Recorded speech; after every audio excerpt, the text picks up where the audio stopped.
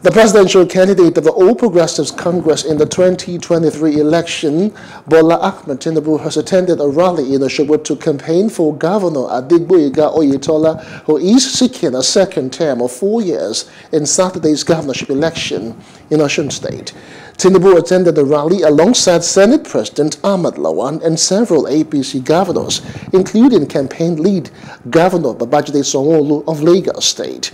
Other governors present at the rally include Abdullah, Abdullahi Ganduje of Kano State, Babagana Zulum of Borno State, and Atiku Bagudu of Kebbi State, while the national chairman of the APC, Abdullahi Adamu, and the party's vice presidential candidate, Kashim Shettima, were also present. Those who have got a fair mind, a fair mind, will testify to the fact that Governor Abdullah has done so much since assuming office in this state.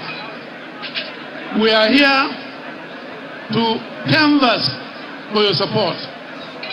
We are here to not only give a testimony, but to appeal to you the genuine, genuine, proper APC members this state to turn out en masse next Saturday, the 16th of July 2022. I must express my gratitude to the people of Osun for their support for the first uh, three and a half years and uh, for believing in us.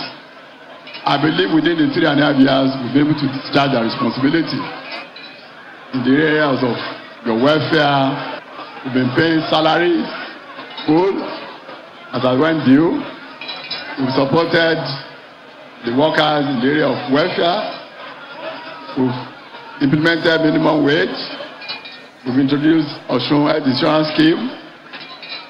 We, we give them food to at least 30 vulnerable people every month.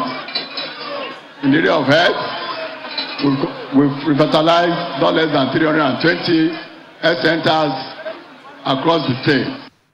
Hello. Hope you enjoyed the news. Please do subscribe to our YouTube channel and don't forget to hit the notification button so you get notified about fresh news updates.